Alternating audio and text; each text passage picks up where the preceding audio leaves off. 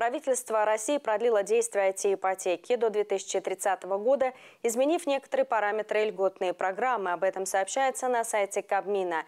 Продление льготной программы кредитования на новых условиях планируется с августа текущего года. Так, ставка по программе увеличится с 5 до 6 процентов. Максимальная сумма кредита составит 9 миллионов рублей для всех регионов. В регионах-миллионниках она была 18 миллионов рублей. При этом ставку можно будет снизить за счет банковских или региональных программ. Меняются требования к среднему уровню дохода IT-специалистов в городах-миллионниках, а также в Московской и Ленинградской областях. Минимальная зарплата до вычета НДФЛ должна быть 150 тысяч рублей. В остальных городах и населенных пунктах от 90 тысяч рублей в месяц.